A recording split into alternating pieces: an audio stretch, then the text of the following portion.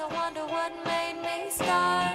The one question staying on my mind is why you keep playing with See, I fucked around and always cut it close.